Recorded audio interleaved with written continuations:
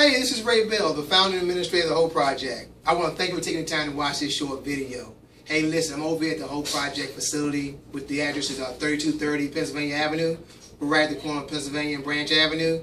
The reason for this short video is I want to introduce you to the Hope Project.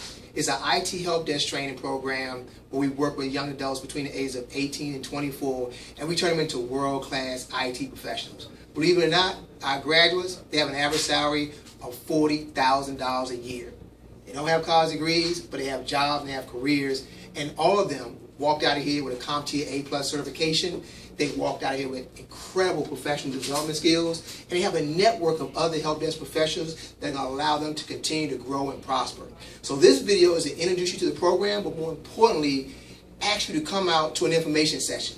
So if you're between the ages of 18 and 24, you live in Washington, D.C., and you have a high school diploma, this Wednesday, August the 20th at 4 p.m., you can come to the Hope Project and try to compete for one of the 25 slots that we have. Believe it or not, this is actually paid training.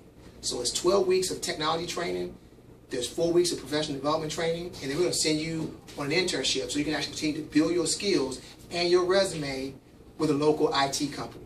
After that, we plan for you to go right into the workforce and start competing for all these jobs that exist among all these government contractors. So again, August the 20th, right here at the Hope Project, come to the information session. It starts at 4 p.m.